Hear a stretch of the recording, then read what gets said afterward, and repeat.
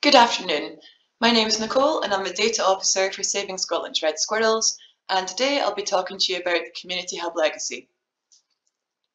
I'll begin by showing you our data flows, then move on to our roadmap to Hub Legacy. I'll recap some of the roles I've covered during this presentation and wrap up with the challenges and benefits on our road to the legacy phase. Now starting with our data flows. Staff and volunteers can add sightings, control and survey data as well as contact details, training records and volunteering hours directly through our website. Anyone with a Hub account can view, edit and export their data. All the records entered onto the Hub are automatically added to our back-end Scottish Squirrel database, a nationwide dataset for squirrel records in Scotland that's secure, protected and backed up daily for resilience. Similarly, almost all data imported to the database is reflected on the Hub, with the exception of sightings data we get from local record centres, which remains in the database. Control data from grey squirrel officers, trap loan scheme participants in the north, and trapping records from estates in the Forestry Grant Scheme are all imported to the database and reflected on the hub. As you can see, we have a really simple process for collecting and collating data into one centralised system, but this wasn't always the case. Prior to the hub, trapping records were imported to our old control database, However, a lot of data was unprocessed and remained in a variety of formats such as scanned PDFs, Word documents and spreadsheets. Sightings from local record centres were uploaded to the old Scottish Squirrel database, which also contained public sightings from our old website. We had more disparate recording systems for feeder box survey data and volunteering information, including contact details, training records and volunteering hours. Our data was spread across multiple parallel and overlapping recording systems, making it difficult to access and retrieve information. With the launch of the Hub, all historic data was imported to the new Scottish Squirrel database, creating a centralised place for SSRS data, making it easy to access and share. Which brings me to my next slide. In the database, we've set up multiple SQL queries, which do all the wrangling needed to extract figures for reporting, pull data to create maps and tools for staff, generate data sets to share with scientists and researchers, some of whom you'll have heard from during this conference, and prepare an annual data set of squirrel records to upload to the National Biodiversity Network, aka the NBN. The Trust believes in making data as accessible as possible to aid science and research in conservation and biodiversity across the nation. The NBN hosts species occurrence records from local groups and record centres across the UK which can be downloaded for research purposes. The Scottish Squirrel database records have been downloaded from the NBN 944 times in the last 12 months, with an overall 32 citations for this dataset. Before moving on to the next section, I'd like to show you some of the tools we've created to give staff better access to Hub data. Having a centralised database means it's relatively easy to create tools for staff to gain better access to data. We've created a front-end database using Microsoft Access so staff can export data in a variety of pre-prepared formats. We've also built an interactive web app using Esri products ArcPro and ArcGIS Online, providing all the data that's on the hub, plus some additional layers such as grey squirrel preferred habitat and our squirrel pox sampling results, providing staff access to pop-ups, filters and attribute tables. Now we understand a bit more about the SSRS data flows, let's move on to our roadmap to Hub Legacy. In 2017, the Scottish Wildlife Trust worked closely with our developers Exegesis and RedPaint, who host our database, to design, develop and test the new online community hub. After a lot of hard work, the community hub was launched in 2018 and our historic data was imported to the new database. During this year, a lot of time is spent creating resources for staff and volunteers on how to use the Hub, as well as providing training workshops to help people get to grips using the new website. In 2019, we continued to run training workshops for the volunteer networks in South Scotland, with a focus on how to add data to the Hub and how the admins can manage their group online. We added functionality that allowed us to recruit volunteer sightings verifiers to help staff verify the large number of public sightings we get each year. I'll talk some more about our volunteer verifiers in the next few slides. Volunteer verifiers can log on to the website to get full access and edit rights to sightings submitted within their remit area. Verifiers check details of the sighting and location and verify the record as either confirmed, pending, invalid or duplicate. Now let's take a look at the different remit areas of our volunteer verifiers. You can see from the map on the left that we have several volunteer networks with active verifiers, most of whom have been recruited within the last year with 10 people having actively verified over 1,000 sightings. Moving on to North Scotland on the right, we can see that we have volunteers covering the Highlands, Tayside and Fife. We have one verifier in the Highland who was our first recruit back in 2019 and she's processed over 2,500 sightings during this time. In Tayside, we have one volunteer verifier who was recruited this year and she's already processed over 2,000 sightings and last but not least, in Fife we have four volunteer verifiers, most of whom joined us this last year, and they've verified almost 1,500 sightings in their region so far. Having volunteer verifiers is a great way to help staff in these regions. The Highlands and Fife aren't project areas, so previously staff from Tayside and Edinburgh had to verify all of the sightings that came into these regions on top of their own areas. Similarly, before the help of our Tayside verifier, staff spent a lot of time processing sightings here as it's such a big area with a high volume of public sightings coming through each year. And finally, having volunteer verifiers in the south gives the network groups more power to manage their areas effectively, moving towards independence for the groups in the legacy phase.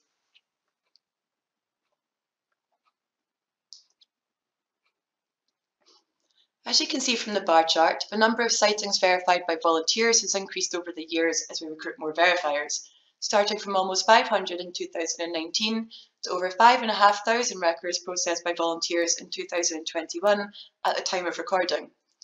To put this in perspective, on average staff have verified 13,000 sightings a year since 2019. And this year, almost a third of our sightings have been processed by volunteers. Now let's go back to our roadmap. In 2020, we hired a contractor to digitise a backlog of historic trapping records from our Trap Loan Scheme participants and estates on the Forestry Grant Scheme.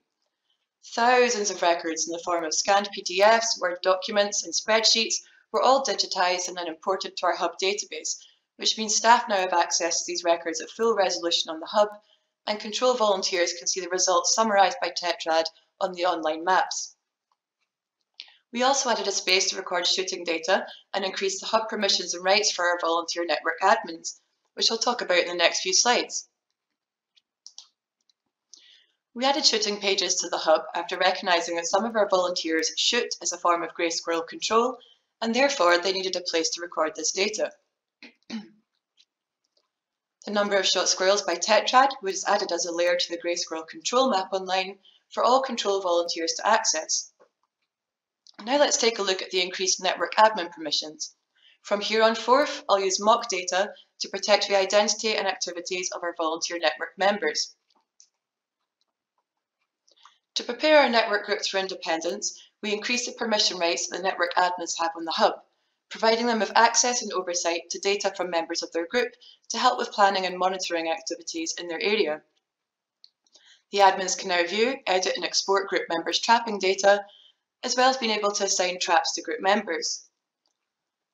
Admins also have the same permissions and rights for shooting records and for feeder box survey data. That's the main milestones of 2020 covered. Now let's go back to our roadmap. Moving on to the current year, 2021, a lot of development work has taken place to help prepare us for the legacy phase.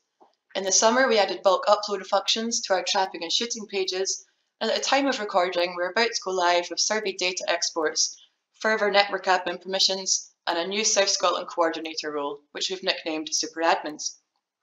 I'll talk a bit more about this in the next few slides.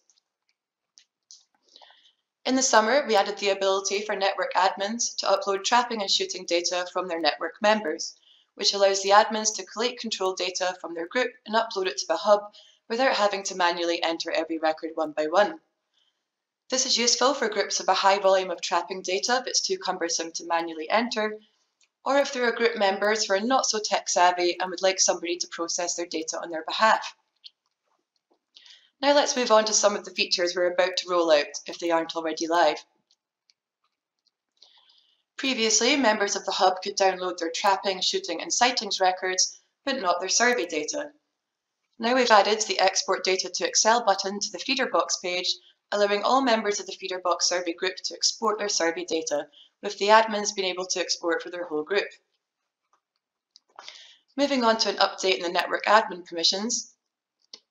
When network members log onto their private page, they have access to grey squirrel control and sightings layers on their map.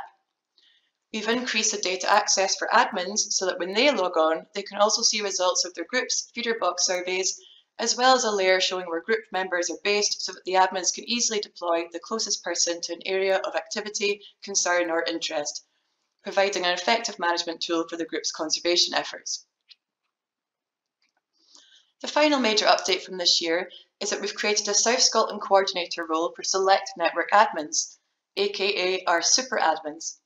The super admins will gain, read-only access to data that falls within South Scotland to help with reporting, analysis, planning and monitoring on a landscape scale, as volunteers in the South take on more responsibilities and independence in preparation for the legacy phase. The South Scotland coordinators can view and export all confirmed sightings records from South Scotland, all trapping records, all shooting records, and all survey data. Today we've went over the major milestones that have helped prepare the SSRS community for Hub Legacy, where volunteers take on more responsibility and independence in the next phases of the project. It should be noted that there have been many minor updates throughout these years to improve user experience and efficiency of the Hub, as well as the major milestones and achievements we've covered today. Before wrapping up, I'd like to briefly recap the volunteer hub roles I've mentioned throughout this presentation. Anyone can join the Hub and become a subscriber to submit and manage their data online or join a volunteering group, gaining access to nationwide maps. Sightings verifiers can view and edit sightings to verify records in their area. Network admins can view, add, edit and export group members' data, as well as being able to create training records and volunteering hours for their group.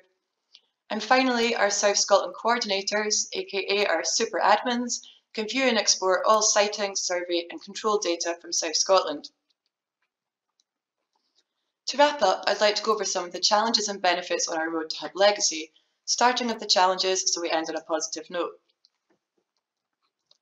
Firstly, designing, launching and updating the Hub has been a huge undertaking. An incredible amount of work went into designing the interface, the multiple user journeys and role permissions on the Hub, as well as designing a database that can pull many complex datasets together from a variety of sources in different formats. Meanwhile, ensuring we protected personal and sensitive data and guaranteeing GDPR compliance along the way. One challenge that can't really be avoided is that the system will never suit everybody. However, we do our best to accommodate the needs of volunteers and balance this with the needs of staff as well as the needs of the project. Like with any new tool or technology, there are always teething problems. Our volunteers and staff come from a range of backgrounds, not all of whom are great with technology and can find new systems difficult to get to grips with, especially for staff and the network admins, who have far more complex permissions and functions than regular users do. To help combat these difficulties, we've provided a wealth of training resources through manuals and videos, as well as training workshops for staff and volunteers. And now the volunteer networks are doing a great job of training one another. Now briefly going over the benefits which have been highlighted throughout this presentation. The online community hub and database pulls conservation records from staff, volunteers, estates and landowners across Scotland into one centralised place, creating greater access to data and helping to build a nationwide picture of red squirrel conservation in Scotland. The hub brings the SSRS community together, it aids science and research, empowers staff and volunteers, and all of these features making it truly one of a kind. Thank you for listening.